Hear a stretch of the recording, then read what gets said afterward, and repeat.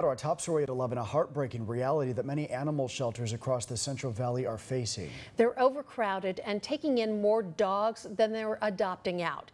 This is causing some of them, including a shelter in Selma, to post the dates that some of the animals would be euthanized if they are not adopted.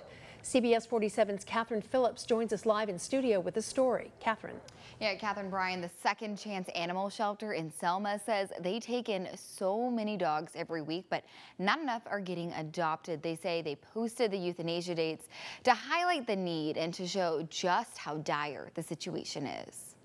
Parveen Sandhu says the Second Chance shelter in Selma is focused on doing what their name suggests. Our name is Second Chance. We want to give them that second chance, but we're pushed up against the wall. Taking in dogs who were dumped, abandoned, or found as a stray. However, she says with a small budget and no space for more dogs, they're faced with a harsh reality. City is all is giving us that reality of okay you don't have the space so what are you going to do?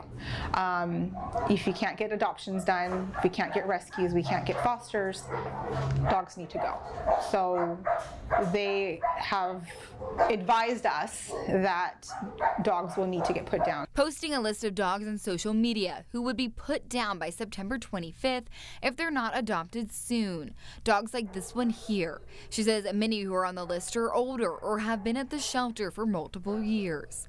They currently have 130 dogs at the shelter. They're so overcrowded, even many large dogs share crates. There's kennels in their office, and they even had to transform their office bathroom to hold dogs because they're just out of room getting to the number, the magic number of 60 to de by December 31st, the math plays out to 10 dogs a week. The Second Chance shelter isn't alone. The Visalia Animal Center posted euthanasia dates for some of their animals a few weeks ago.